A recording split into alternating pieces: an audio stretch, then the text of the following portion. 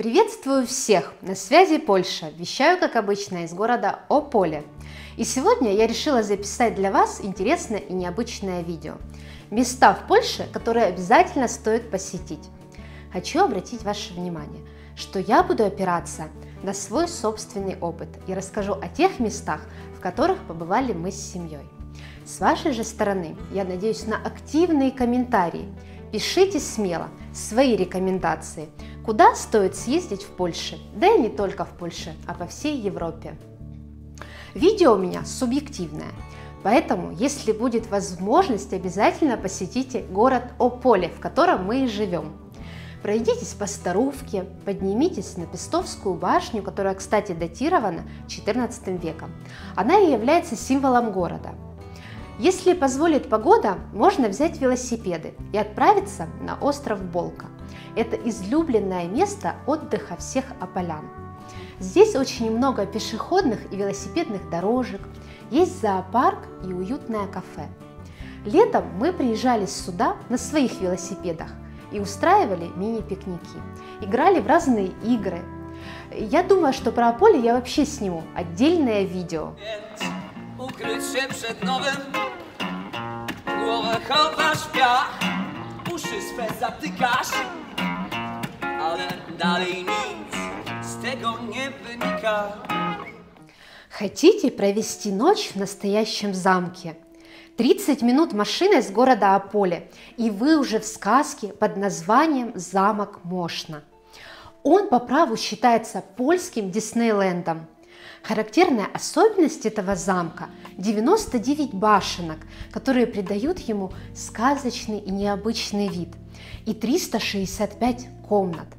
Конечно же, замок и горел, и перестраивался, но все же чудом сохранился годы Второй мировой войны. А вот внутреннее убранство замка было разворовано. Но это не повод отказываться от экскурсии.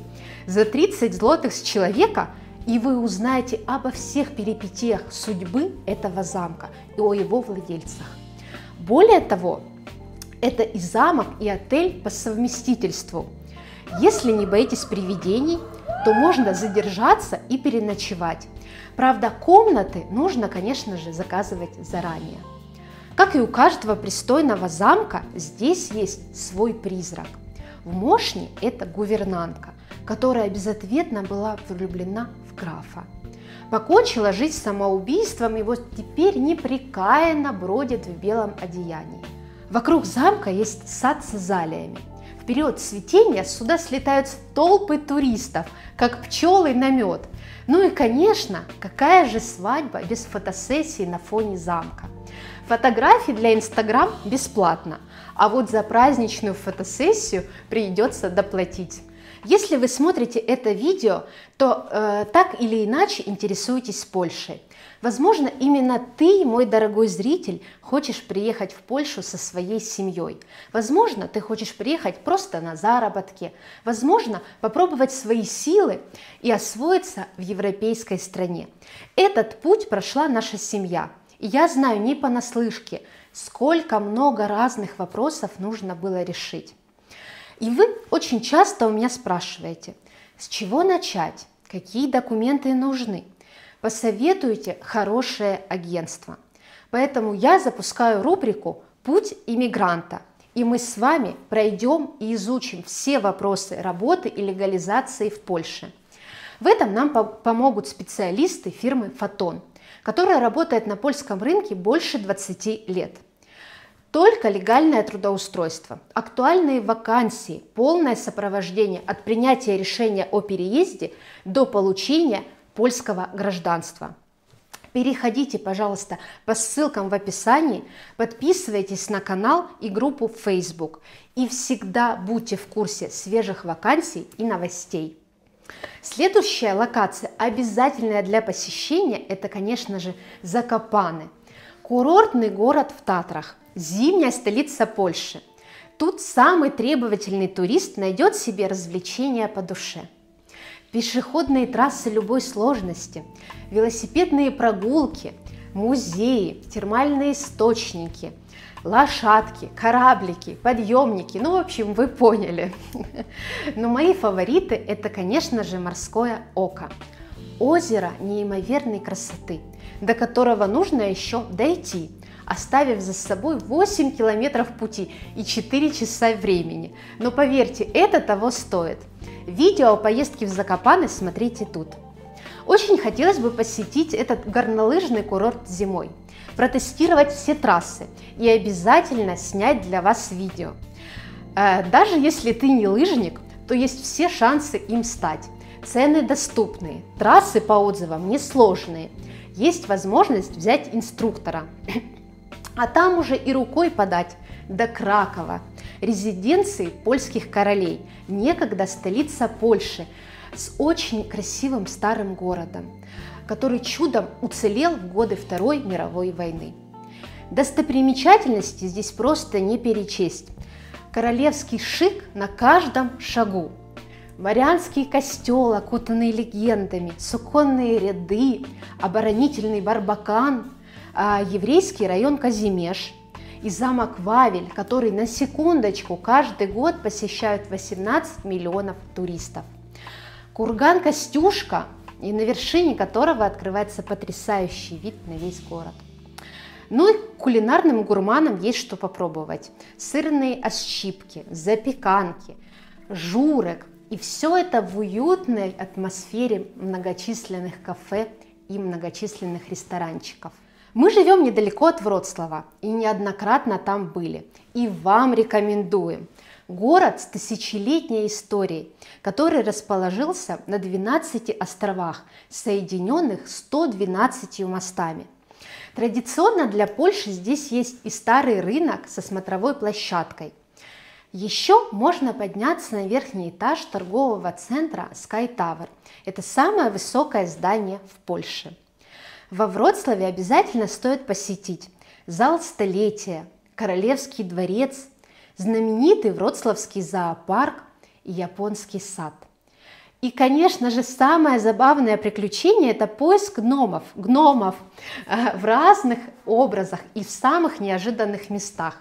Ну, между тем, как происходили эти события и появились первые гномы во Вроцлаве, прошло, представляете, более 20 лет.